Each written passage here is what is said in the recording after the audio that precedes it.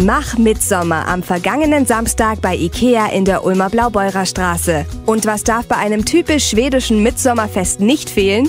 Natürlich der Blumenkranz. Den konnten sie sich im Ikea Außenbereich ganz einfach selbst zusammenstellen. Sieht nicht nur toll aus, sondern soll jungen Damen auch Glück in der Liebe bringen. Für die kleinen Ikea-Besucher war ein altes Feuerwehrauto aus dem Jahr 1962 vor Ort.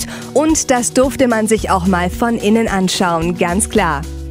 Im Innenbereich erwarteten sie die Donau 3 FM-Moderatorin Sabrina Gander und Jürgen Ortlieb aus der Gute Laune Morning Show. Die beiden hatten neben Eisgutscheinen auch eine Fotobox dabei. Mit der Box und der Mach Mitsommer Fotoleinwand konnten sie schnell ein Foto schießen und mit ein bisschen Glück wertvolle IKEA Einkaufsgutscheine gewinnen. Mit bunten Blumenkränzen und tollen Einkaufsgutscheinen kann der Sommer nun endlich kommen und bleiben.